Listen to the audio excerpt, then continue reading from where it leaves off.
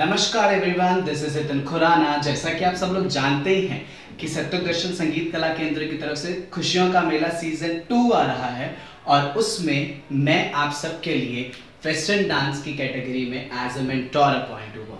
और मेरे बारे में आप सबको जान के ये खुशी होगी कि मैंने अपनी जो ट्रेनिंग है वो इंडिया के महान कोरियोग्राफर मास्टर टेरेंस लुइस के अंडर करी है और करंटली मैं अपनी ग्रेजुएशन वेस्टर्न डांसेस के अंदर कर रहा हूँ। सो so, मेरी आप सबसे सिर्फ़ यही रिक्वेस्ट है कि मैं आप कि आप इस